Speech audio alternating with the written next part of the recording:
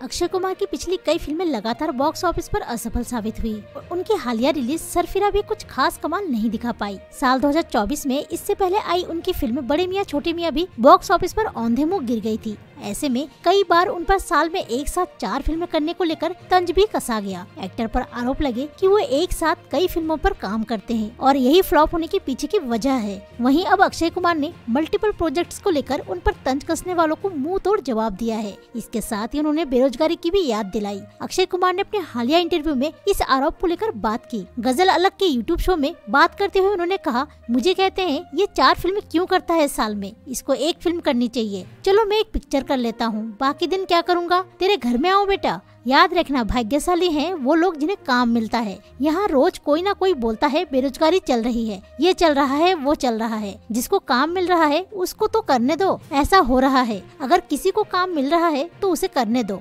अक्षय कुमार ने हाल ही में बड़े मियाँ, छोटे मियाँ के फ्लॉप होने पर भी अपनी चुप्पी तोड़ी थी। फोर्ब्स इंडिया से बातचीत में उन्होंने कहा, हर फ़िल्म के पीछे बहुत सारा खून, पसीना और जुनून होता है। किसी भी फ़िल्म को असफल होते देखना दिल तोड़ने वाला होता है, लेकिन आपको सकारात्मक पहलू भी देखना सीखना होगा। हर असफलता आपको सफलता का मूल्य सिखाती है और इसके लिए आपकी भूख को और भी बढ़ाती है। ऐसी न्यूज़ ऐसी अपडेट रहने के लिए वही टॉक को सब्सक्राइब करें।